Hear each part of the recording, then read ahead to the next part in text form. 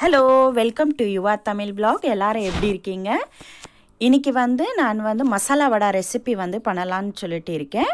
So அது எப்படி பண்ணுறதுன்றது பார்க்கலாங்க. ஃபஸ்ட்டு வந்து கடலப்பருப்பு வந்து ஒன் ஹவர் வந்து ஊற வச்சிடணும். அதுக்கப்புறம் வந்து அது தண்ணியெல்லாம் சுத்தமாக எடுத்துட்டு அதுக்கப்புறம் கொர கொரான்னு ஆட்டிக்கணுங்க.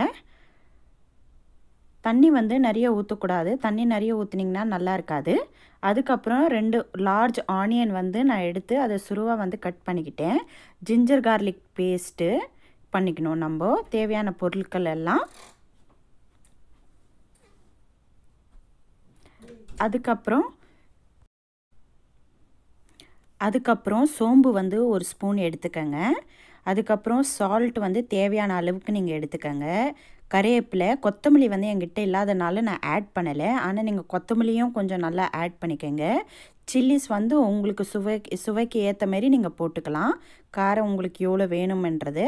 அதுக்கப்புறம் எல்லாத்தையும் வந்து ஆட்டினதில் வந்து அதுலேயே வந்து பச்சை மிளகா சுருவாக அடைஞ்சு போட்டுக்கோங்க. சோம்பு வெங்காயம் இஞ்சி பூண்டு பேஸ்ட்டு எல்லாத்தையும் போட்டு உப்பு சோம்பு எல்லாம் போட்டு நல்லா மிக்ஸ் பண்ணிக்கங்க. நல்லா மிக்ஸ் பண்ணிட்ட பிறகு இந்தமாரி சின்ன சின்னதாக கையில் வடை அடை மாரி தட்டிக்கங்க.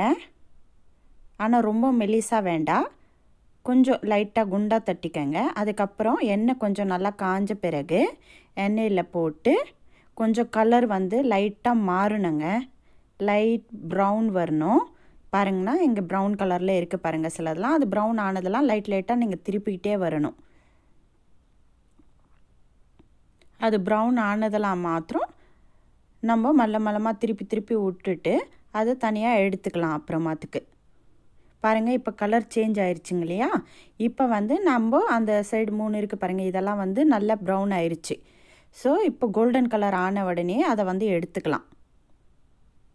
அவ்வளோதாங்க வடை ரெடி சுவையான வடை ரெடி நீங்களும் செஞ்சு பார்த்துட்டு என்னோடய கமெண்ட்டில் சொல்லுங்கள் நீங்கள் என்னோடய சேனலுக்கு நீங்கள் புதுசுனா என்னோடய சேனலுக்கு சப்ஸ்கிரைப் பண்ணுங்கள் லைக் பண்ணுங்கள் ஷேர் பண்ணுங்கள்